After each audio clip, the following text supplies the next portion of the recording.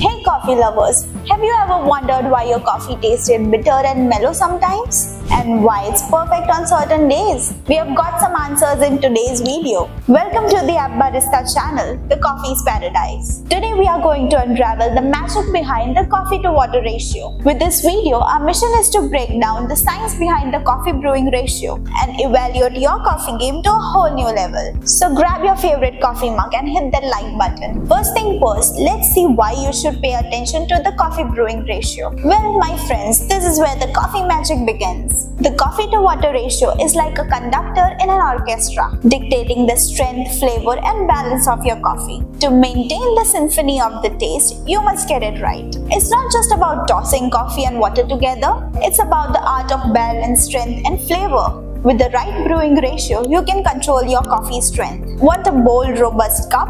Or prefer a milder, more delicate brew? Play with the ratio and you are done. But that's not all. The ratio also holds the key flavor. It's the difference between a coffee that sings notes of chocolate and caramel and one that falls flat. And let's not forget balance. A well-balanced coffee is like a perfectly choreographed dance of acidity, sweetness and bitterness. Learning that aspect ratio is how you achieve that dance. Have you ever had a bitter coffee or was way too bright? It might have been over-extracted or under-extracted. And guess what? The brewing ratio was the culprit. Under-extracted, as the name suggests, means we haven't extracted enough flavors from the ground. It's like cutting a song short before a grand finale. The result, weak sour coffee that lacks depth. On the other hand, over-extraction is like leaving that song on repeat for hours. It extracts too much, leading to bitter, unpleasant coffee. It's like turning up the volume to the point of distortion. Brewing ratios ensures that you hit the sweet spot between under-extracted and over-extracted, making it a perfect cup. What exactly is coffee to water ratio?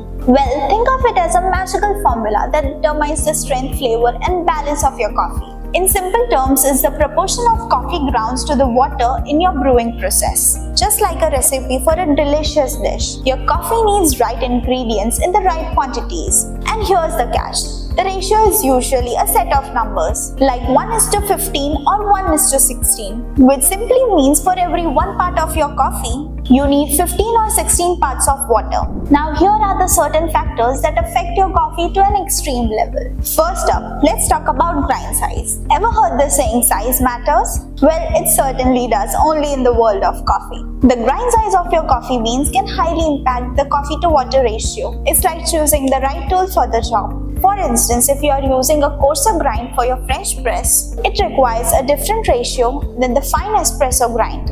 Next is freshness. Obviously, we want the beans to be fresh, but there could be some difference in the coffee to water ratio based on the freshness. Coffee beans release gases as they age, and these gases play a role in brewing process. Fresh beans will have different requirements than the older ones. Let's jump in and check out some golden coffee ratios. We will begin with the French press, a beloved classic. Known for its rich and robust brew, the golden ratio used worldwide for it is 1 is to 15. Next up is the pour over which is a favorite among the coffee lovers. Pour over is all about control and the ratio 1 is to 16 is your secret weapon. Third we have in the queue is AeroPress Adventure, a favorite for its portability and versatility. The golden ratio for inverted AeroPress method is 1 is to 15. Last but certainly not the least, espresso where every drop is a tiny masterpiece and demands precision and the ideal coffee to water ratio for it is 1 is to 2. To create the perfect coffee to water ratio, you will need a trusty kitchen scale. Here's a step-by-step -step guide to help you calculate the right amounts. Measure the coffee beans with the help of golden ratio for your chosen method. For example, 1 is to 15 for French press. You can use well-calibrated beakers for accurate measurements. Measure your water based on the ratio. For example, 1 part of coffee for 15 parts of water as above. This this ensures consistency in every cup, making sure your coffee is never too weak or too strong. Using the digital coffee scale ensures accuracy and takes the guesswork out of the equation. Let's take a look at some issues that you might face in your brewing journey. We have all been there. A weak cup of coffee that leaves you for wanting more, or an overly bitter brew that puckers our taste buds. If the coffee you brew is weak, try to increase the coffee to water ratio. A little more coffee can go a long way to boosting your strength. If it exceeds the bitterness of your enemy, consider a lower coffee to water ratio. Dilution can be the solution to taming bitterness. Remember, coffee preference is subjective. Tailor the ratio to match your taste and you'll conquer these common issues like a pro. To keep track of your coffee experience and get a perfect brew, maintain a coffee journal. A digital one is a good option. We have an app named the App Barista.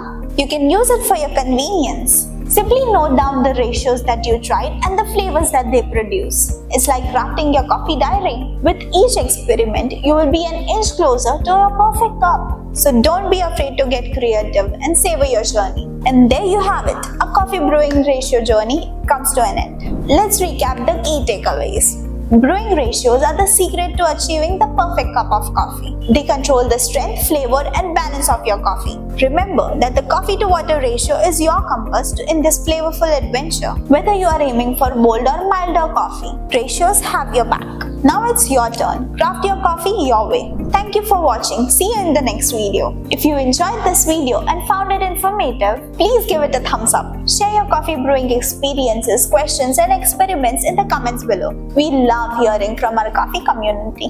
Don't forget to hit the subscribe button and ring the notification bell so you never miss a coffee update.